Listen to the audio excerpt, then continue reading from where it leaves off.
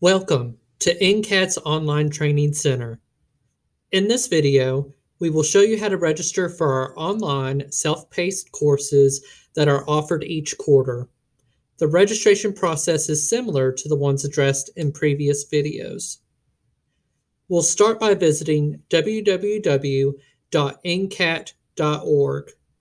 Under the Programs tab, click NCCAT Online.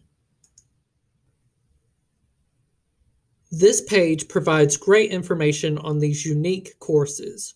Be sure to read it thoroughly before proceeding.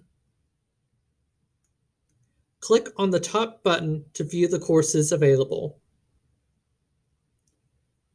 Registration for these courses is only open for a certain time period. If you see the message, registration starts, on the right hand side of the courses, then the quarter's current courses have closed for registration. Here, at the top of the list, you can filter the courses. Under Department, you can view the different subject types offered. Once a course is open for registration, click Select Class on the right-hand side of the course you wish to register for. For this tutorial, we'll register for 15775 Online Discussion Tools for the Classroom, which starts on April 1st, 2021. Here, you can either select other courses to register for, or you can continue. You are allowed up to three NCCAT online courses per quarter. For this example, we'll proceed with just this course. You are now being prompted to either create a My NCCAT account or log into an existing account. If you need assistance with creating an account before registration, check out our course registration tutorial video. Here, we're going to log in with an existing account. Once logged in, confirm your account information, then click Submit. The registration for 15775 was successful. Please allow NCCAT up to three business days to respond with an update on your registration status.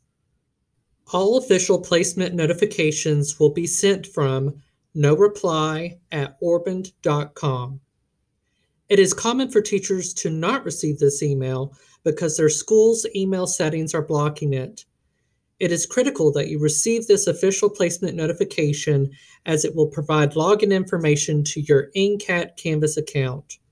Before registering, go ahead and alter your settings and adding this email address to your contacts to ensure you receive any and all emails from us.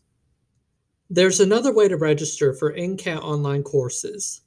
Let's go back to nccat.org and log into a sample My NCCAT account. When entering your username and password, don't forget to change your role to student. We are now in the My NCCAT dashboard. On the right-hand side, click Shopping Cart. This looks similar to the one on the NCCAT online webpage, but includes every course currently available with NCCAT. To see all NCCAT online courses, change the campus to online. The registration process then becomes the same as before. You will need to confirm your username and password before proceeding. A couple of quick notes regarding the courses themselves. You are not able to access these courses via your My NCCAT account. You must have your login information via the placement notification email to access your NCCAT Canvas course. All assignments for each respective course must be submitted for grading no later than the end of the quarter. And certificates for completed courses will not be sent out until after the end of the quarter. This concludes our NCCAT registration tutorial. Thank you for watching and thank you for choosing NCCAT.